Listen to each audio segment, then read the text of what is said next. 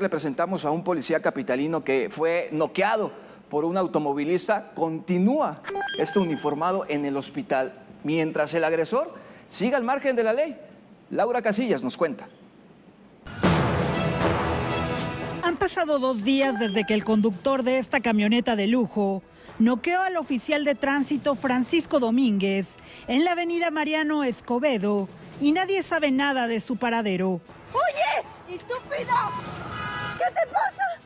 Modelo de la camioneta, número de placas, toda la información básica quedó registrada por una ciudadana en el momento justo que sucedieron los hechos. Quítate, te va a atropellar. Quítate, quítate, quítate, por favor. RDG 196A, RDG 196A. La Secretaría de Seguridad Ciudadana de la Ciudad de México informó que este policía, quien recibió un fuerte golpe en el pómulo derecho, continúa hospitalizado y su estado de salud aún es reservado. Del 2 de diciembre del 2018 a la fecha, han sido lesionados 221 elementos policíacos.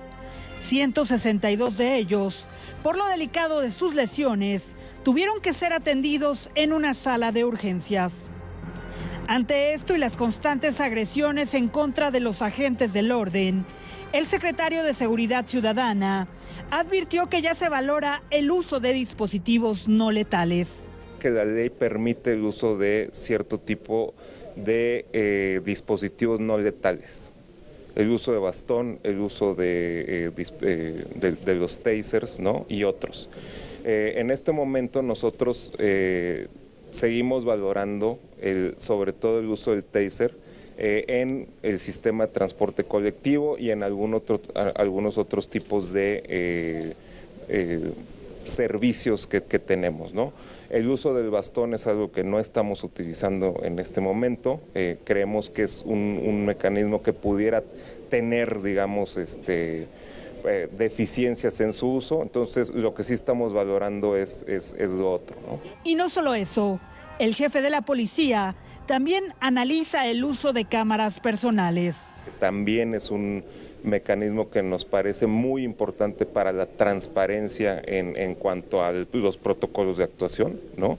Y que no nada más este, estemos ante lo que podamos demostrar en caso de una agresión a un policía, ¿no? Eh, que también se pueda demostrar cuando el policía está siendo agredido de manera injusta y o abusiva y de esa manera poderlo denunciar. Y mientras esto se decide, lo cierto es que constantemente los policías son agredidos por ciudadanos furiosos que buscan evadir la ley y al parecer fácilmente escapan de ella. Laura Casillas, Azteca Noticias.